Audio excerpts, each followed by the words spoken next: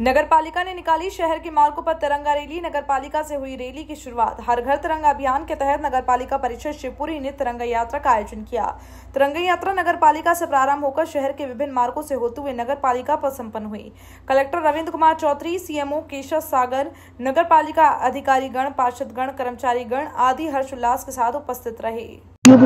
तौर पे पूरे भारतवर्ष में घर घर तिरंगा लगाया जा रहा है और हर घर में खुशी मनाई जा रही है।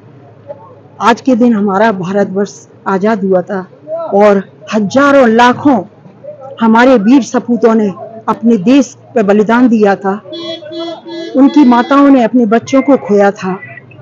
और आज हम पूरे भारतवासियों को बहुत बड़ा गर्व का दिन है, क्योंकि कल 15 अगस्त है और कल पूरे देश में धूमधाम से तिरंगा लहराया जाएगा।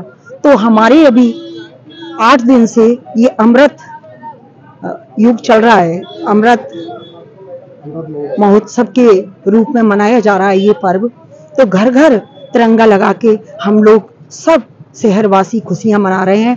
हर घर पे तिरंगा लगा रहे हैं। हर ऑफ़िस वाले अपने अपने तिरंगे के साथ अपनी अपनी रैली निकाल रहे हैं।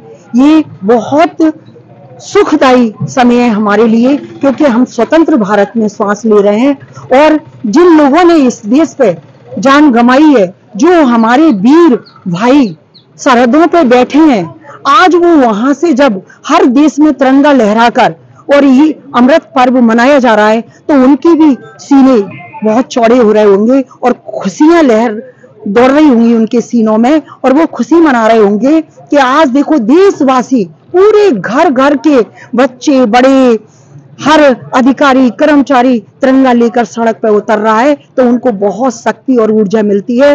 और भारत माता, जहाँ भी हम सबको अपने पुत्रों को देख रही होंगी तो उनका भी सीना, एक माँ का जैसे सीना चौड़ता है अपने बच्चे को देखकर, इसी तरह हमारी भारत माता का भी सिर ऊँचा हो रहा है गर्व से, और वो सभी बच्चों को धन्यवाद और आशीर्वाद दे रही होंगी। इस तरह से हमारी नगर पालिका ने भी आज ये स्वतंत्रता दिवस का पर्व धूमधाम से मनाया है। आपकी जो यात्रा है कहाँ से कहाँ हमारी नगर पालिका से शुरू हुई थी कोट रोड होते हुए तात्या टोपे को नमन किया और कलेक्ट्रेट से होते हुए फिर वापस नगर पालिका आ गए पूरे देशवासियों से और मेरे शहर वासियों से हाथ जोड़कर तहे दिल से निवेदन करती हूँ कि अपने शहर को अपने देश को स्वच्छ सुंदर और हरा भरा बनाएँ।